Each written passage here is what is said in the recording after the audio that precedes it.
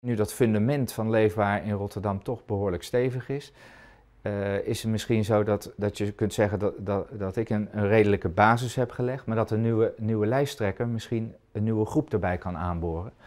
Ja, en we hoeven maar een paar stemmen extra te krijgen en we zijn de grootste.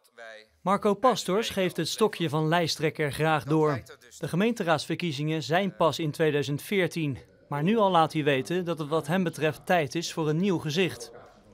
Zowel in 2006 als 2010 haalde Leefbaar Rotterdam onder zijn leiding 14 zetels.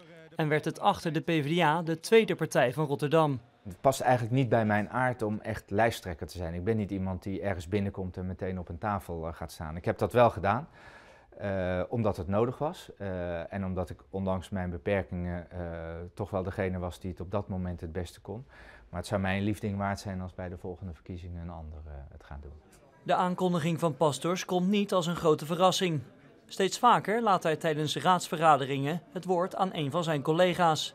We hebben ook met elkaar afgesproken, het zou goed zijn uh, als we op dat podium, als, als, als ik, een beetje ruimte creëer voor anderen. En dan zie je dus uh, dat een aantal mensen ja, eigenlijk als een soort vanzelf uh, daarin naar voren komt. Na oprichter Ronald Seurissen, die onlangs naar de Eerste Kamer vertrok, is Pastors het tweede belangrijke gezicht van Leefbaar Rotterdam dat meer afstand neemt.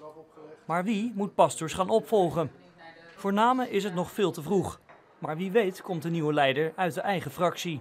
Maar je hoeft natuurlijk niet alleen binnen de fractie te kijken, hè. Ook, ook buiten de fractie uh, zijn, er, uh, zijn er mogelijkheden.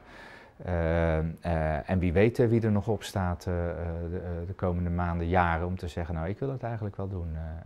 en Leefbaar Rotterdam is natuurlijk wel een partij die open staat, ook voor, voor kandidaten van buiten die zich aanmelden.